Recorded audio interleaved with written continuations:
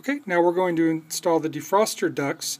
Uh, basically it is a difference between screw locations on the 55 and the 56.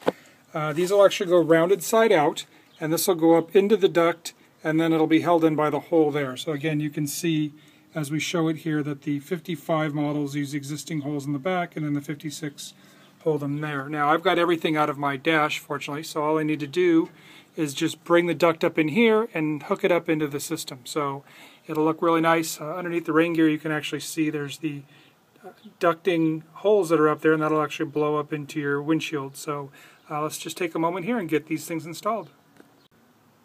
Let's come in for a view now. You can see up here that I have my defroster duct, which I'm putting with a light.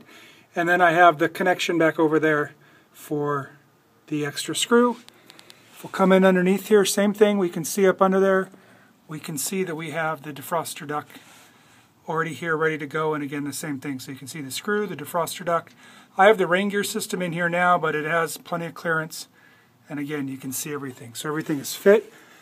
Can't imagine actually having to do this with all the stuff in there on a regular basis, but since I've got the car gutted and I'm slowly putting everything back in, this is going to be real nice.